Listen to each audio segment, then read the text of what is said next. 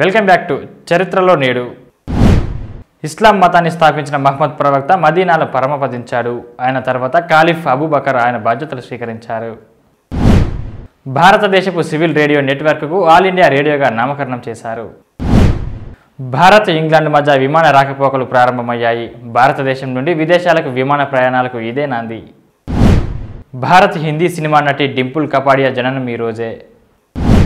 ప్రపంచ cup football పోటీలు స్వీడన్లో ప్రారంభమయ్యాయి. భారత హిందీ సినిమా నటి శిల్పా శెట్టి జననం ఈరోజు. ప్రముఖ భారతీయ సినీ దర్శకుడు కేఎస్ఆర్ దాస్ మరణం ఈరోజే.